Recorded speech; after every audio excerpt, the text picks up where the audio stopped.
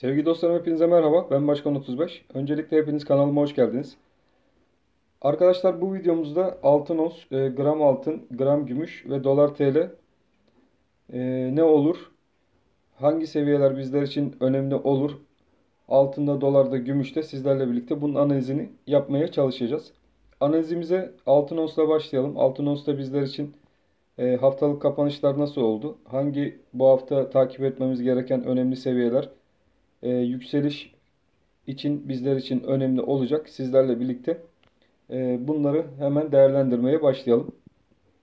Altın Os'ta arkadaşlar yukarıda önemli bir direnç artık e, 1780 noktası.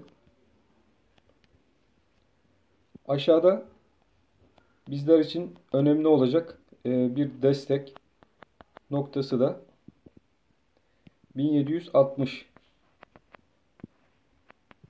seviyesindeki önemli destek noktası arkadaşlar.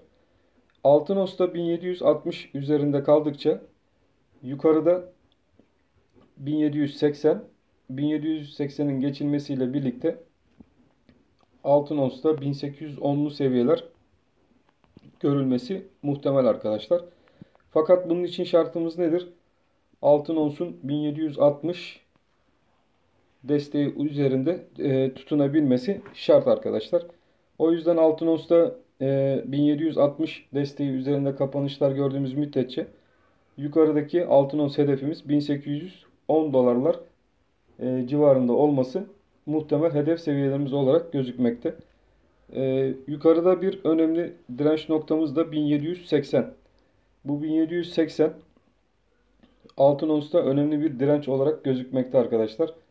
Ve bu 1780 üzerinde de mutlaka e, yukarı yönlü bir kapanış görmemiz şart ki e, 1800'lü seviyelere doğru altın os kendini atabilsin. Bizim 1760-1780 e, bu hafta takipte kalmamız gereken önemli direnç noktaları olarak gözükmekte. E, 1760 üzerinde kaldıkça da altın os için hala olumlu diyebiliriz arkadaşlar ve yukarıda 1810 hedefine doğru altın onsla hareketler bekleyebiliriz. Gram altına da bakalım. Gram altında bizler için önemli seviyeler e, ve kapanış nasıl olmuş haftalık kapanışımız.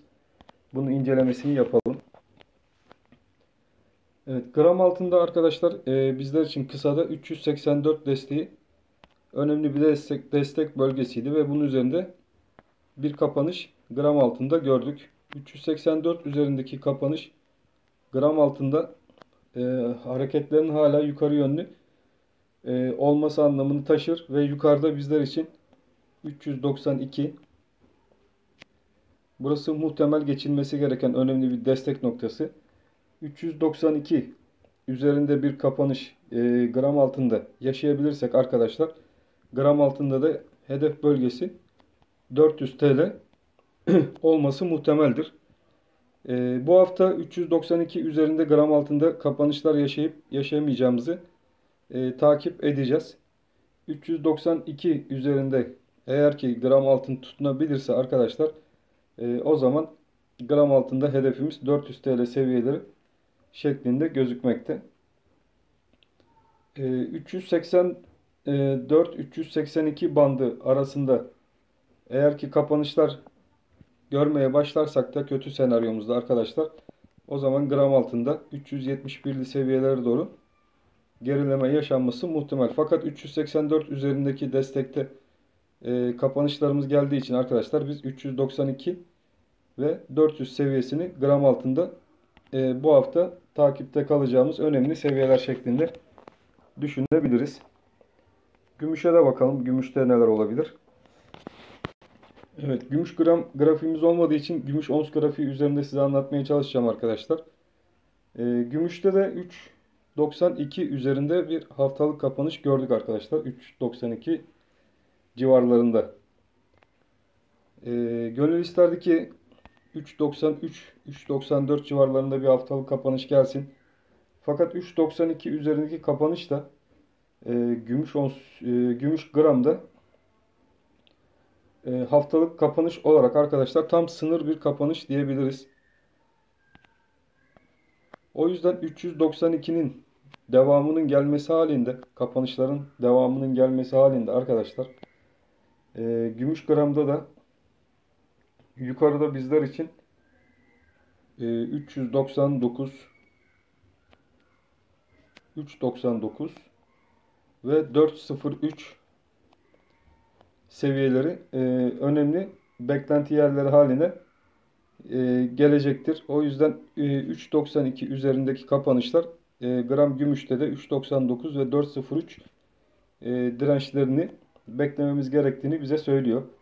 E, fakat 3.92 altında e, tekrardan bir aşağı yönlü ivmeleme de e, görürsek arkadaşlar bu sefer 3.87'deki destek noktası gram gümüşte de önemli bir destek noktası olarak göze çarpmakta. 3.87 üzerinde kaldıkça da gram gümüşte yukarıda 4.03 e, seviyesi önemli bir bizim için e, direnç noktası ve hedef noktası olarak gözükmekte.